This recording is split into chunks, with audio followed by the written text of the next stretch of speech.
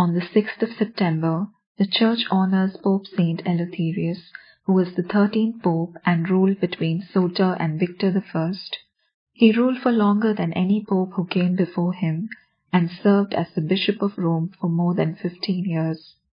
The Church lists him as both a martyr and a saint. Eleutherius was born in a small town in Rome sometime around 130 AD. His parents gave him the name Eleutherius at birth, and he decided to use his official name when he became pope.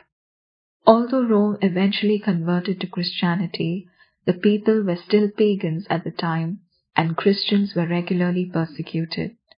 Despite that, Eleutherius was a Christian. He was alive during the time of Hadrian, a ruler who was especially known for persecuting Christians. His father was in service to the emperor, but he died when Eleutherius was young. His mother raised him, and he shared her beliefs. After his father died, she sent Eleutherius away to Anicetus, who was the bishop of Rome.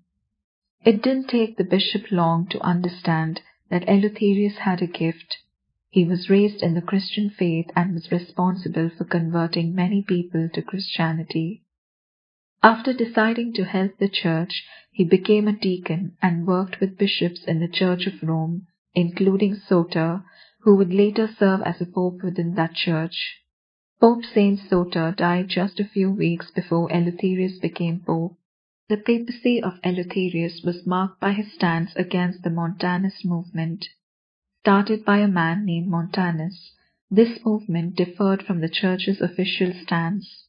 Montanus traveled through the region with two women and often claimed that the trio was the human embodiment of the Holy Spirit.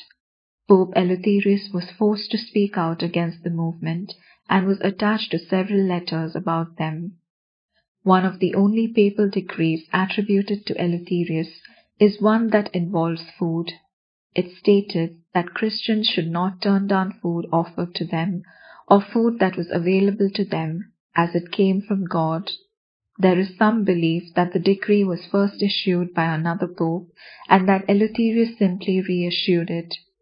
Historians also believe that this was his way of speaking out against those who followed other religious movements that included dietary laws such as the Jewish faith. Historians today also believe that Pope Eleutherius was involved in missions to Britain. Lucius, who was the king of Britain, allegedly wrote a letter to the Pope in which he claimed that he wanted to convert. This story dates back to at least the 8th century when an Englishman wrote about it in a book. There are also some claims that the story appeared in a biography of Pope published in the 6th century. Stories of this king traveled across Europe and reached as far away as Switzerland. As there isn't any evidence to prove that the king existed, the story about the king's letter may be also false. Some think that the letter was real but that it came from a different king. Though Eleutherius is listed as a pope within the church and has a feast day, there is no mention in the records of how he died. He likely died in 199 AD, which is also listed as the end of his papacy. Though some think that he died as a martyr, others think that he died of natural causes, with problems brought on by the suffering he experienced at the hands of his opponents. The church had Eleutherius buried on Vatican Hill, close to some of the other early popes, and not far away from Pope St. Peter. His body was later moved on to two different spots in Rome. Placing all our petitions before Him today, let us pray. O God of mercy and love, grant we pray through the intercession of your holy Pope Saint Eleutherius, the deliverance from the slavery of the devil, that we may serve you with sincerity and love through Christ our Lord. Amen.